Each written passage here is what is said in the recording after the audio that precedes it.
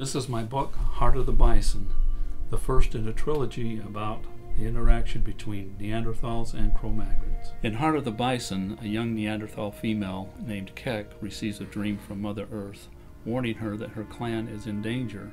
At the same time, Strong Branch, a powerful shaman of the Cro-Magnon people, receives a dream from the Great Spirit, warning him of a future when Neanderthals will come from their caves and cause great destruction and bloodshed among his people. Kec wants to resolve the conflict by creating friendship and trade between the two peoples. Strong Branch wants to resolve the conflict by destroying all the Neanderthals. Yeah, they experience the same emotions that we have, the same fears and and the same desires to succeed.